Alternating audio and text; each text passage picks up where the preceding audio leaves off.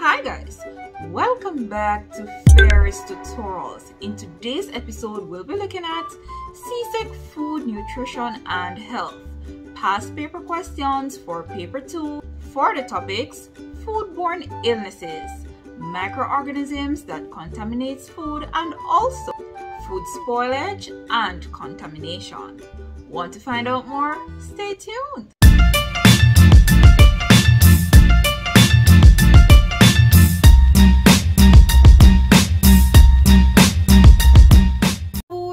Nutrition and health. CSEC past paper questions and we'll be exploring questions for the topics food spoilage and contamination, microorganisms that contaminates food, and also foodborne illnesses. Now, let's kick things off with 2019 exam questions. Define the term food infection. Two marks. Now, we have two definitions here, so you can choose the one that you're most comfortable with, all right? So, food infection is the contamination of food by foodborne pathogens such as bacteria, viruses, or parasites. Or you may say food infection is any illness caused by eating foods that contains living disease causing microorganisms, right? And that response, that question is worth two marks. Still continuing with 2019, the next question suggests two guidelines that should be followed for each of the following factors in order to prevent food contamination during the preparation and service of food, right? And the categories outlined are temperature, personal hygiene, and also kitchen or food hygiene. So your task is to suggest two guidelines that should be followed in the following categories all right now what i've included here for you are about four uh, uh, factors or guidelines each so you can stick to the ones that are are are better for you or ones that you're more, most comfortable with all right so as it relates to temperature let's look at these guidelines so bacteria and other microorganisms multiply rapidly at certain temperatures. Therefore, food should be kept below or above those temperatures. Good? Next guideline for temperature. Cook food to temperatures above 140 degrees Fahrenheit to kill microorganisms. Good? Keep cold food below 40 degrees Fahrenheit to stop the multiplication of microorganisms. And the next one we have there, in serving food, keep food out of the temperature danger zone. And that is the temperature that ranges between 40 degrees Fahrenheit to 140 degrees Fahrenheit, right? And that temperature is called the temperature danger zone because it's the ideal temperature for microorganisms to grow, to multiply, to reproduce, you name it. All right. Uh, next category, personal hygiene. Wash hands after using washroom and before handling food as bacteria can be transferred to food from hands, right? So that's an example of cross-contamination, not washing your hands. So whatever microorganisms or bacteria may be present on your hand will be transferred to the food, especially if it's a ready to eat food. So for instance, if you're making sandwiches and there are salads where there are no further cooking, it is very dangerous for persons to uh, consume those type of food so that as they will become ill, right?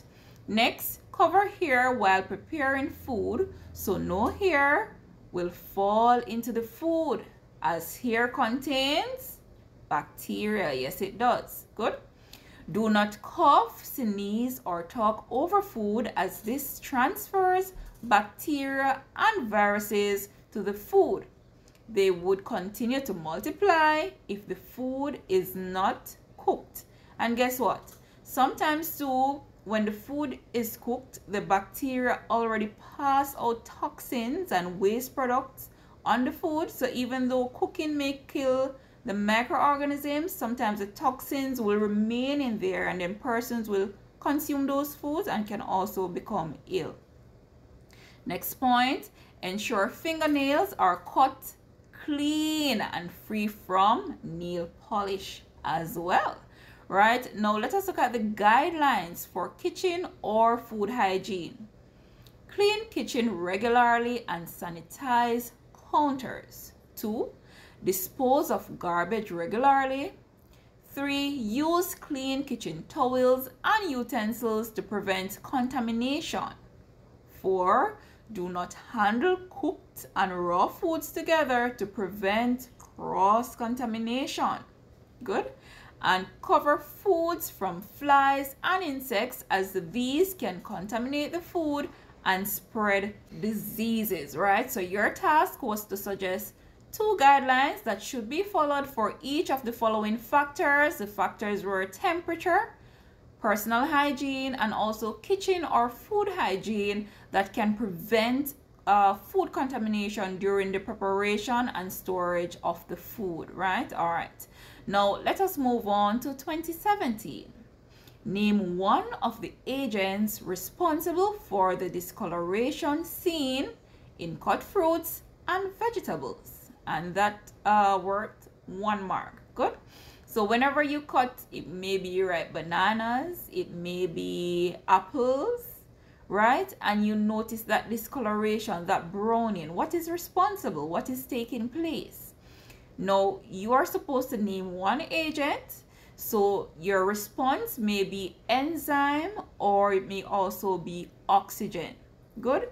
So a reaction of the oxygen. So when the food is cut or the fruit is cut and is exposed to air or to oxygen along with the enzymes that have been activated, then we'll see a browning, an enzymic browning taking place. We may call it also oxidation and that is responsible for the discoloring.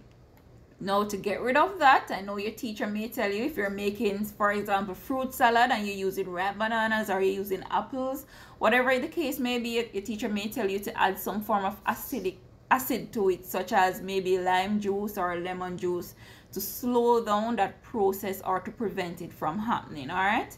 All right, next question. Name two microorganisms that can contaminate food. Two marks. So we have here bacteria, mold, and yeast. All right, continuing with 2017, Janet prepared a fish for dinner, but the fish was tainted and soft. Suggest four factors other than the presence of microorganisms that may have contributed to the spoilage of the fish. Four marks. Now guys, seeing that the presence of microorganisms is taken out of the question, you may be wondering, how am I going to come up with four other factors that contribute uh, to the spoilage of the fish without uh, clearly stating microorganisms, right? But anyhow, let's go with the four that we have here. The first one we have is improper storage. Good. So the fish may have been left in the danger zone and the danger zone is between what 40 degrees Fahrenheit to 140 degrees Fahrenheit. Therefore bacteria may grow and and produce toxins which can cause foodborne illnesses or we may say food intoxication. And those toxins that are heat resistant are not destroyed by cooking right? The next point that we have next factor poor food handling.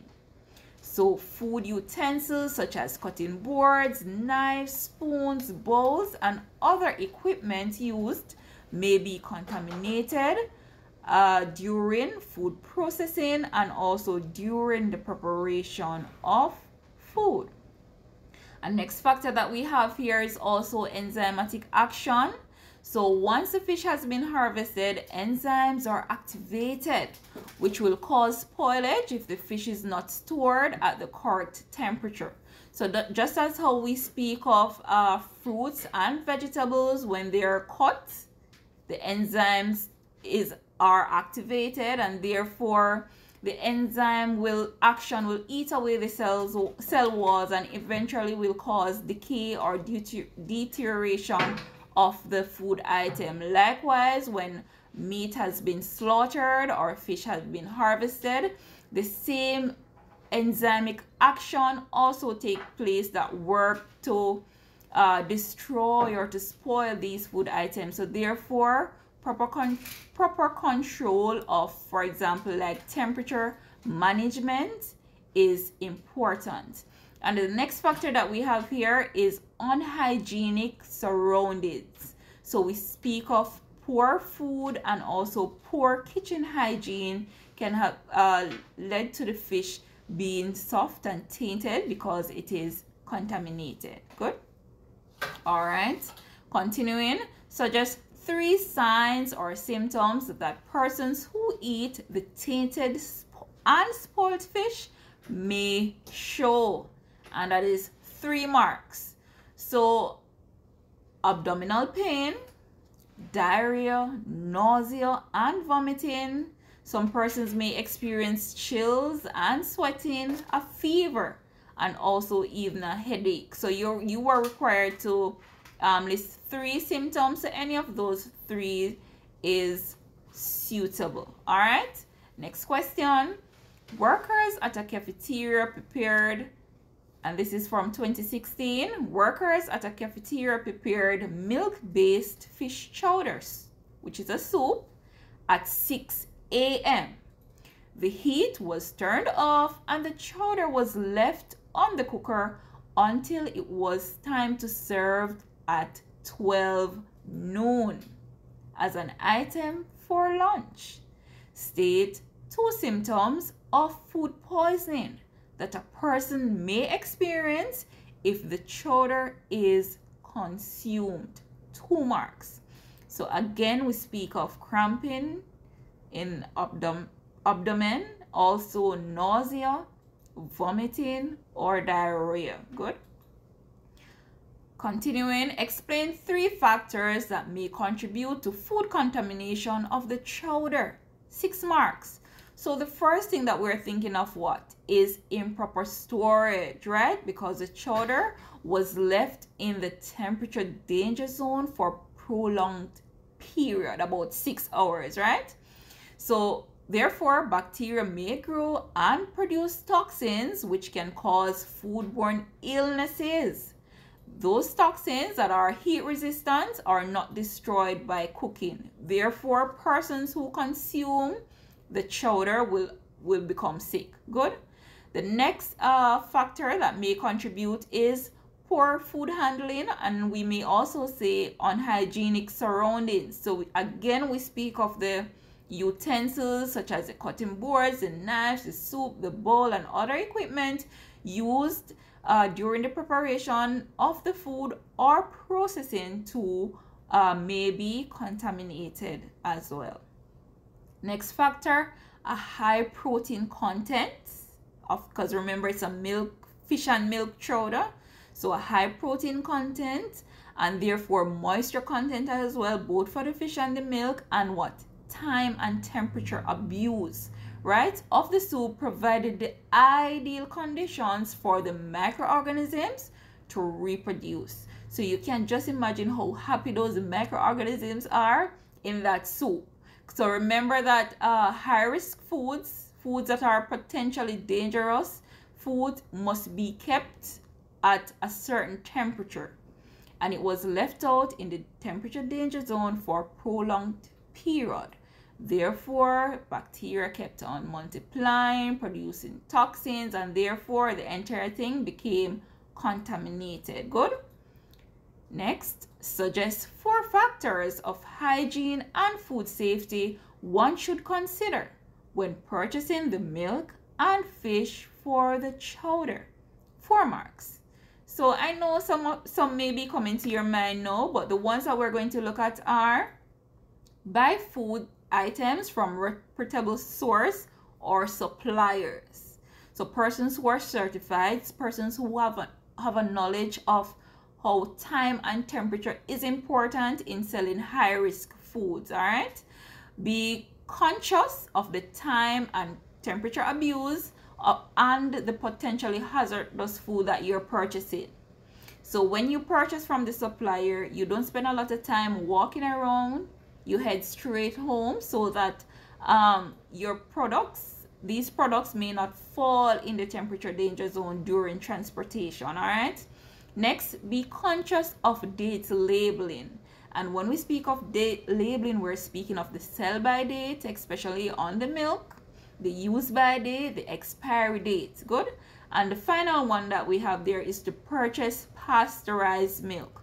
You know pasteurized milk is one that has been gone through the process of heating which kills microorganisms. Now we're moving on to the final year and the one that we have here, we're closing it out with 2011. The question reads, Gavin and Gobin ate baked chicken, fries, and coleslaw for lunch. Later, they complained of feeling unwell. It was suspected that their illness was a result of food poisoning caused by the baked chicken. Now your task is to state two signs and symptoms these boys are likely to experience. So guys, if you notice, uh, quite a few of these questions ask for signs and symptoms of food poisoning and also foodborne illnesses. Good. Now, any two of these are adequate. So abdominal pain, diarrhea, nausea and vomiting, chills and sweating, fever, or headache. Good. Now name the bacteria that may have been present in the baked chicken. One mark. And the ideal response there is salmonella. Suggest three personal hygiene practices that the person who served the baked chicken may not have followed. Three marks. So one, they did not wash their hands after using the washroom and before handling food as bacteria can be transferred to food from hands, right? So there we're speaking of cross-contamination. Another suggestion is they may have coughed, sneezed, or talk over food, and this transfers bacteria and viruses to the food. And they may have also had cuts and bruises that were not covered as well. And the, this action also can cause cross contamination to the food as well. You are awesome. You've made it to the end of the session. Please remember to subscribe. Turn on your post notification bells so you can be notified when there's another upload. Watch those ads, leave a like and a comment, and most importantly, share with persons who you know will find this information useful. Thank you for making it Fairy's Tutorials.